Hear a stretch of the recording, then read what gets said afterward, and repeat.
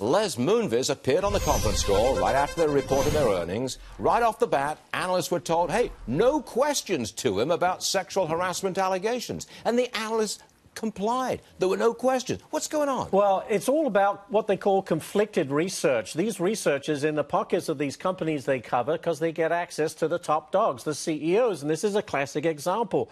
Okay, you can't ask him any questions about the allegations of sexual misconduct, but what about a succession plan? Mm-hmm. That's a huge right. issue for CBS. No one brought it up. What about the ongoing legal battle with Shari Redstone, you know, CBS's major stakeholder? No questions asked companies are famous like this for having friendly analysts on the call who they go to. They don't go to the ones that make the tough calls, which brings oh. into question the whole system. Oh, Is yeah, it corrupt? What do you say? This, this should undermine the confidence that investors have in analysts. And for analysts that are constantly trying to prove their credibility, this is a very, very negative way to approach it. They should have never complied with that request. They should have asked the hard questions. They are not defending the shareholders that count on them because these questions need to be answered in the case But they of, become of like a member of the public relations department for the company they're yeah, covering, and, and that's the problem. Well, I think become... it's the way you choose the analysts who ask the questions. It's usually the top seven or eight favored ones that get questions on these conference calls anyway. So why, why yeah. not make it more yeah, If that ain't right. If you, that's have an, right. if you have an analyst that's too hard on a company, they don't get he's not going to be let in the door.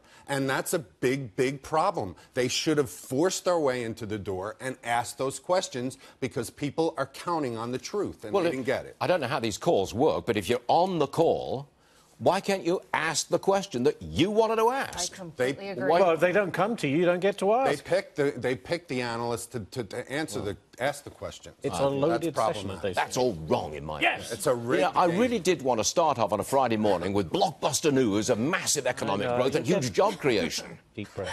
Take a big deep breath. Deep breath. All right.